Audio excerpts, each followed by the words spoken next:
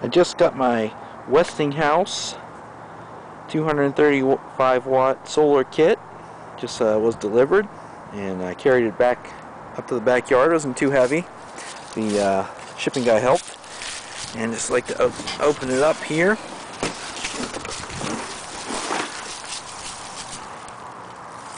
So this is the Westinghouse panel. You see I'm going to pull this forward a bit the Westinghouse panel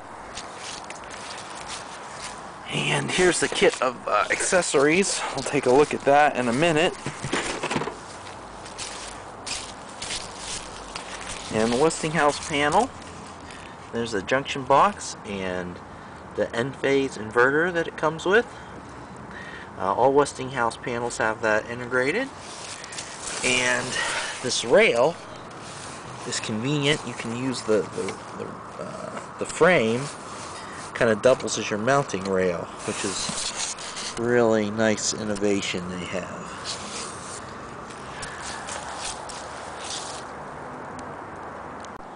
Alright, so this is the Westinghouse panel here. And comes with those uh, styrofoam strips that kind of protect it. So this is just the front of the panel. So we'll go over here and look and get into this kit. I'll open it up. Okay, so here's everything that came out of this this box. It's shipped with the solar panel. Uh, first and foremost, you get these uh, flashing plates here for mounting onto the uh, roof if you want to do a roof mount install. Uh, you get these L feet. It will mount mount to the flashing plates. So you get you get four of these, one for each plate, and then those would attach to the uh, the solar panel. You get cable for the Enphase. So this end would connect to the Enphase inverter, and then this these wires will then get connected into your um, 240 disconnect box. And this, uh, the Enphase is, because they're designed in daisy chain Enphases, the, the Enphases on our Westinghouse unit has another free terminal that will get this end cap. And that's all you need to go uh, electrically. And you can you can find your own uh, disconnect, fuse disconnect, or breaker box at the uh, at a Lowe's or Home Depot. They're pretty cheap, you know, somewhere between 10 to 30 bucks uh, for a, a disconnect, a breaker disconnect.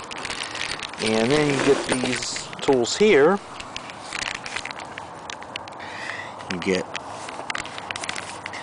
little uh, nut and the uh, grounding connector that will bolt on the side of the, the solar frame. You get the customized Westinghouse uh, tool here. You get this uh, this spline for uh, bolting onto the next adjacent solar module.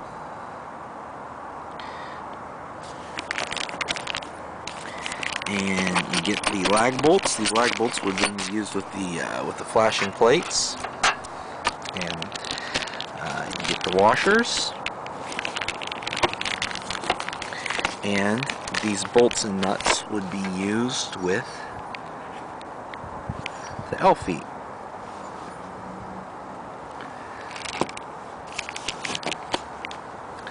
And it's a pretty good kit. It's everything you need to get started.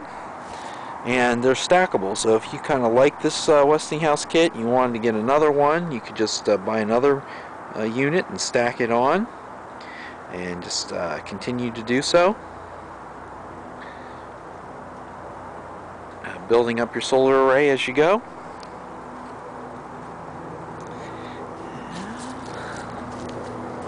And that's it.